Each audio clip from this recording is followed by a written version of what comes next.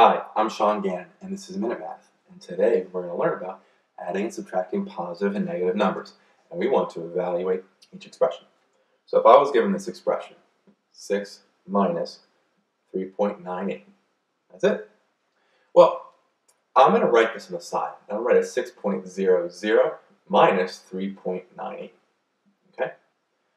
Now, 6.00 minus 3.98, that's 6. I'm going to rewrite right? Or sorry, sorry, we subtract first.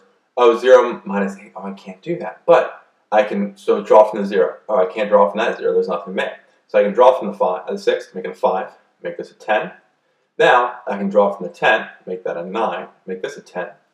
And so now I have 10 minus 8, which is 2. Keep the decimal points in line. 9 minus 9, which is 0. And 5 minus 3 is 2. So my final answer is 2.02. And there you go. So again, let's recap. We had 6 minus 3.98. Okay, 6 is larger, so we have it on top here. 6 minus 3.98. The zeros, I had to draw from the original 6 here, make that a 5.